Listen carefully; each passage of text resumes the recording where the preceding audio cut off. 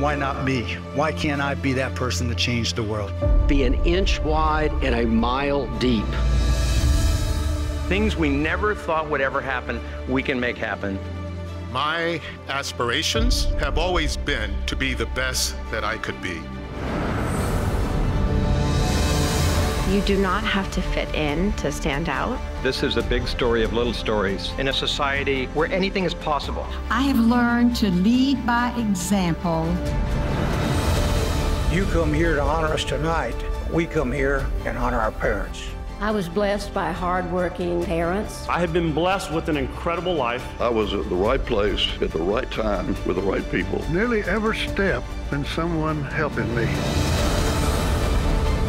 Welcome to Whataburger. May I take your order? That's the way we did those Super Bowl trophies. I'm a product of a great public education. If you can't have fun selling Budweiser, you are doing something wrong. By attending this event, you honor the things that make Texas unique. San Antonio is my hometown. It feels like coming home. We are focused on finding exemplary Texans. There was no place on earth remotely as optimistic as Texas. Thank your lucky stars. You're in Texas. And now for something a little bit different.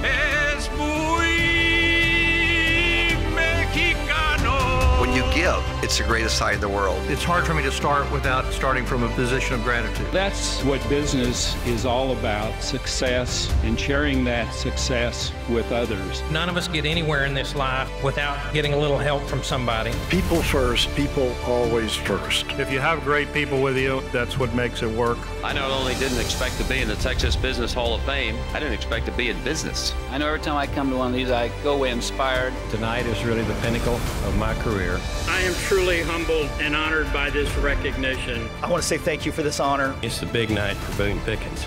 Take note of these individuals. You will see them again. What a stage to be standing on. You can feel it. Wow.